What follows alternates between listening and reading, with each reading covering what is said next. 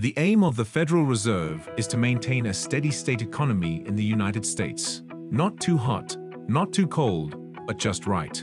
When the economy is booming and running hot, it is possible for economic distortions, such as inflation and asset bubbles to spiral out of control, which poses a threat to the economy's overall stability. When this happens, the Federal Reserve will step in and boost interest rates, which will assist slow down the economy and keep it on track for growth. But what impact does this hike in interest rates by the Federal Reserve have on the economy? Let's get to know, shall we? Hello, and welcome to our channel, Primetime TV.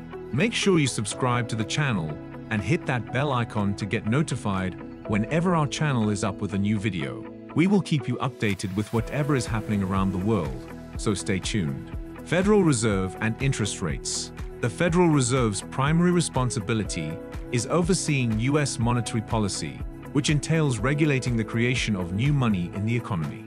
The Federal Reserve has a number of tools at its disposal for conducting monetary policy, but interest rate manipulation stands out as the most visible and successful.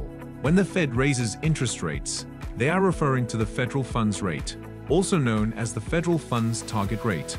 The Federal Open Market Committee, FOMC, establishes a target range for the federal funds rate at its regular meetings which serves as a reference for the interest rates big commercial banks charge each other for overnight loans. Banks borrow overnight loans to meet liquidity requirements imposed by regulators, such as the Fed. The effective federal funds rate is the average of the rates that banks negotiate for overnight lending. This has an effect on other market rates, such as the prime rate and the SOFR. The federal funds rate is the most important benchmark for interest rates in the U.S. economy and it influences interest rates throughout the world economy as a whole. Thanks to this rather indirect arrangement, what happens when the Fed raises rates? If the Federal Reserve raises the federal funds target rate, it will cause interest rates on all loans to rise. When interest rates rise, it raises the cost of borrowing money for both businesses and consumers. People who are unable or unwilling to make the additional payments delay financially dependent enterprises. At the same time, it motivates savers to put their money away in order to receive larger interest returns. This tends to limit inflation and slow economic activity, or cool off the economy, by reducing the supply of money in circulation. Impact on stocks. Stock prices may drop in response to increased market interest rates. Companies, both public and private, face higher costs of operation when the Federal Reserve raises interest rates. It's possible that public companies' income and earnings would decline as a result of rising costs and fewer customers over time, which could slow their rate of growth and reduce the value of their shares of stock. The effect of Fed rate hikes on investor sentiment toward the market is more immediate. Without waiting for the lengthy and convoluted process of higher interest rates to work their way through the entire economy, speculators may swiftly sell off stocks and switch into more defensive investments when the FOMC announces a rate hike. Impact on bonds. When interest rates shift, bonds values fluctuate widely. When the Federal Reserve raises interest rates, bond prices in the market instantly fall.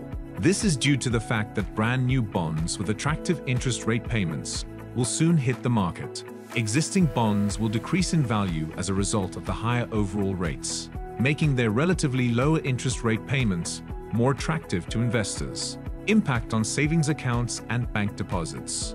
Though increased interest rates are terrible for borrowers, they are excellent for savers. The federal funds rate is used as a reference point for yearly percentage yields on deposit accounts, APYs. When the Federal Open Market Committee hikes rates, your interest rate on deposits rises. That means the annual percentage yields, APYs, on savings, checking, CD, and money market accounts would increase as well. Due to increased competition amongst online banks for deposits, online savings accounts typically respond quicker to Fed rate increases. But the annual percentage yields offered by traditional brick and mortar banks react much more slowly to rate hikes and typically don't go particularly high even in the best of times. In other words, the Fed's goal in raising interest rates is to slow inflation over the long term. Ripples can be seen throughout the economy if interest rates rise and lending becomes more expensive. The Federal Reserve is actively working to reduce consumer demand for products and services in an effort to slow the economy as a whole.